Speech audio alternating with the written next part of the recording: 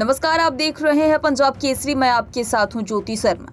बिहार के मुख्यमंत्री नीतीश कुमार गया के बोध गया पहुँचे। सबसे पहले उन्हें गया एयरपोर्ट से बाय रोड, कड़ी सुरक्षा के बीच बोध गया के स्थित तिब्बती मॉनेस्ट्री में लाया गया।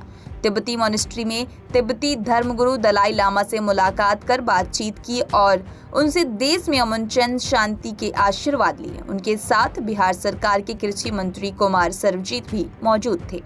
आपको बता दें कि नीतीश कुमार इंडिया गठबंधन की दिल्ली में बैठक कर डायरेक्ट गाया एयरपोर्ट पर उतरे। उन्हें कड़ी सुरक्षा के बीच तिब्बती धर्मगुरु दलाई लामा से मिलने बोधगया के तिब्बती मॉनेस्ट्री में लाया गया, जहाँ दलाई लामा से मुलाकात की। दलाई लामा से मुलाकात करने के बाद विश्व प्रसिद्ध महाबोधि मंदिर में पूजा अर्चना किया। इस बीच गाया जिलाधिकारी डॉक्टर त्याग रंजन एसएसएम, वरीय पुलिस अधीक्षक आशीष भारती और सिटी एसपी हिमांशु सहित तमाम पुलिस पदाधिकारी अनेक काफिले में मौजूद थे। नीतीश कुमार का बोधगया में आगमन को लेकर काफ़ी सुरक्षा व्यवस्था हर चौक चौराहे पर पुलिस बल की तैनाती देखी गई। इस संबंध में बिहार के कृषि मंत्री कुमार सर्वजीत ने क्या कुछ कहा, आइए जानते हैं। जी ने कहा कि आप जो है हमारे भाई समान हो देश और दुनिया में सुख शांति बना रहे। यही आपस में दोनों के विचार विमर्श हुए। और दलाई लामा जी ने मुख्यमंत्री जी को लंबी आयु की कामना किया। और मुख्यमंत्री जी ने भी कहा कि दलाई लामा जो धर्म गुरु दलाई लामा है इनकी भी जो है लंबी आयु रहे।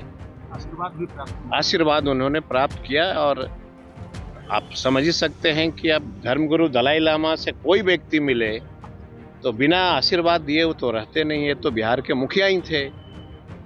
तो दलाई लामा जी ने आशीर्वाद दिया है कि आपके रहते देश में और बिहार में किसी प्रकार का फसाद नहीं हो।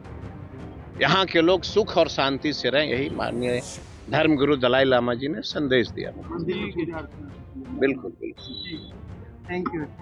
हालाँकि आपको बता दें कि उनके साथ डिप्टी सीएम तेजस्वी यादव भी आना चाहते थे, लेकिन वह किसी कारणवश बोधगया नहीं पहुँच सके। नीतीश कुमार, धर्मगुरु दलाई लामा से मुलाकात के बाद देश में अमन चैन, शांति की कामना की, उनके आशीर्वाद लिया। बोधगया, ज्ञान और शांति की धरती। बोधगया हमेशा देश, दुनिया को अमन चैन, शांति का संदेश देने का काम किया है। नीतीश कुमार उनके आशीर्वाद लिए और बाद में विश्व धरोहर महाबोधि मंदिर में पहुंचकर पूजा अर्चना की।